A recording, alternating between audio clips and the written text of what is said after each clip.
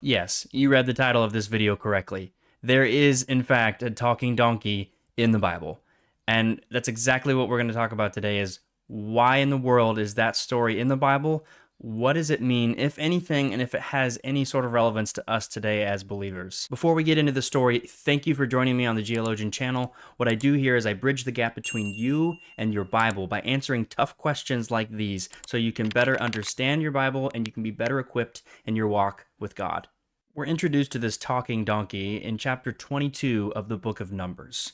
And for context, the Israelites have been wandering for just about 40 years in the wilderness. So they've left Egypt, they've wandered for 40 years, and they're on the cusp of entering the promised land.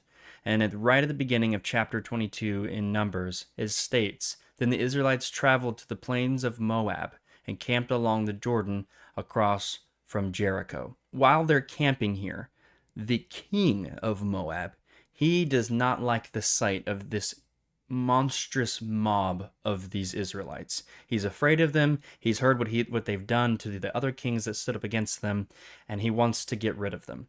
So he hires a local celebrity uh, who, who is a prophet, and his name is Balaam. And he asks Balaam to come and curse the Israelites for him. And so then Balaam agrees after a, a, few, a little discussion with God. He agrees to come do this, and on his journey, he comes uh, up against the angel of the Lord. Now he can't see this, but his donkey can. And the donkey repeatedly leads him off the road. He gets furious with this donkey and he starts beating it. And then we read these words in verse 28. Then the Lord opened the donkey's mouth, and it said to Balaam, What have I done to you to make you beat me these three times?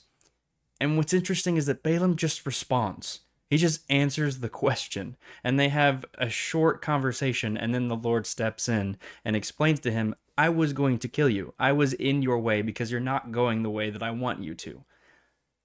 What in the world is the purpose of God making this donkey talk? What does this mean? So, having some cultural context about Balaam the prophet gives us a much greater understanding of why the donkey is talking to him. And we, we get this understanding from archaeology, thankfully. In 1967, archaeologists excavated a city known as Deir Alla, and here they found a sanctuary where it had been destroyed by an earthquake, and the walls had tumbled in. And on one of those fallen walls, the plaster that was left over it, they actually found a text inscribed on the plaster. And when they deciphered this and they translated it, it actually mentioned someone named Balaam, son of Beor, and it specifically states that he is a divine seer, which is another word uh, from the biblical text that means prophet. So this is very interesting because it's this it seems to be the same person, Balaam, son of Beor, who's a seer or a prophet. This is the exact same name, it's the exact same attribution to son of Beor, and he has the exact same role or job. His occupation is the exact same from the Bible and it's from around a similar region. We're talking about the exact same person. And what's interesting in this text, when they translated it, it's it's a sort of apocalyptic writing. Uh, there are two different divine councils in this, or at least groupings of gods. One comes down to him and lets him know that the other is going to destroy the city and that he needs to uh, do certain things to prevent this from happening. And so he does so. And what's interesting about this is it describes uh, the, the behaviors of animals being turned and flipped, and everything that's in nature is upside down. It's not correct, and these are signs of what's going to happen and how it's, everything is just going to go awry. And so this is important to know because it calls Balaam a diviner, a divine seer, and it mentions divination. And so this gives us another clue. And so divination in the ancient Near Eastern world is very, very important. They would do divination through different processes in order to understand the will of the gods. So they would do this in different ways. Sometimes it was more uh, celestial focused, so they were looking at the stars, they were looking at the constellations, uh, different things. They, they would look at these to find omens to determine things that were going to happen, whether they would be good or whether they would be evil things out of the ordinary, whether or not the sun and the moon are in the sky at the same time or if they're in their usual places. Others would look at the earth, the more uh, animal kingdom. They would look at how the animals were behaving, just like in the Deir Alla inscription. Are the animals behaving the way they normally are? Are their migration patterns off? Uh, are is the roles of predator and prey flipped? They would look at these things for omens for what God was telling them. And there was also a very particular divination ceremony they would do is that they would sacrifice a sheep or even a goat and they would look at its entrails, so the, the guts of the animal. This is called extispicy. And so they would uh, look at the liver in particular. And so they would be praying to their God, asking for this God, which whomever they were trying to pray to, to use the liver as a tablet. Right on this liver and so they would pray to him, ask him a question, offer up the animal, and they would cut it open, take the liver out, and they would look at specific lines on this liver or markings on the liver and interpret that as omens. And so hopefully you would get an answer from your God written on this liver. So this is divination. These are the things they had to do to determine what their gods were trying to tell them. So this is who Balaam is. He is a prophet.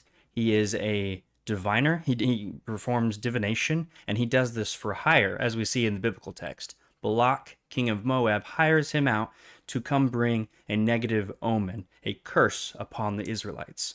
Now, Balaam can't do this. He tries multiple times, and God, Yahweh, tells him, No, I've put a blessing on these people. You can't curse them. But Balaam goes along with the king of Moab anyway, and that's where the talking donkey enters. The donkey prevents him from being killed, and God makes the donkey speak.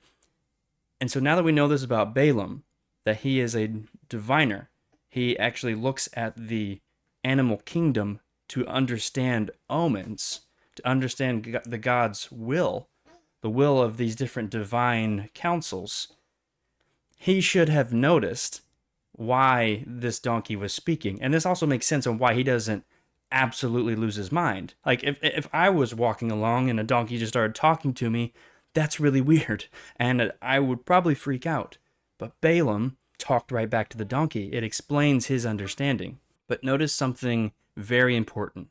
This omen that Balaam would be hired out to interpret, and that's his whole job.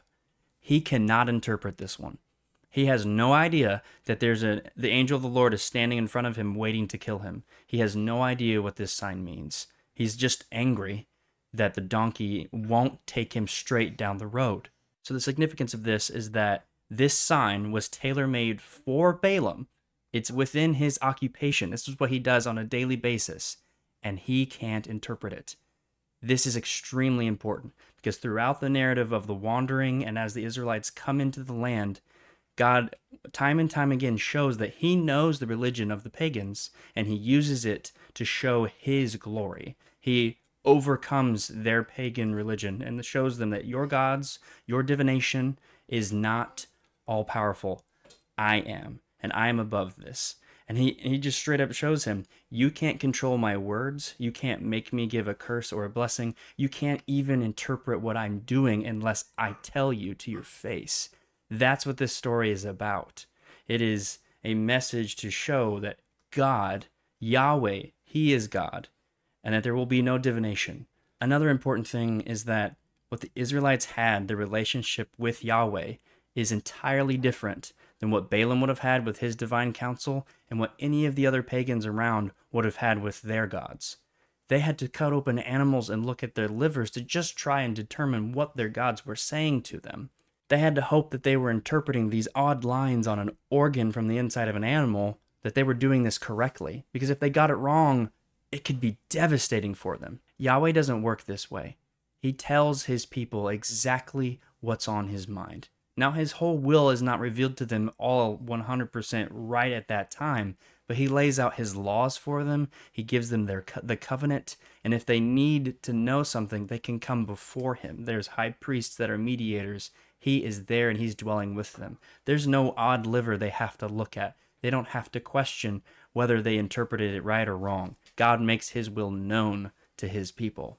And this is the same for us today. We don't have to wonder what God is doing out there. We have His Word. We have Scripture to tell us everything that He has done and everything that He's planning to do. So don't let the story of the talking donkey be a stumbling block to you It happens here specifically to show Balaam that Yahweh is God. It happens here to show the Israelites that Yahweh is God and that he makes his will known to his people when he dwells with them.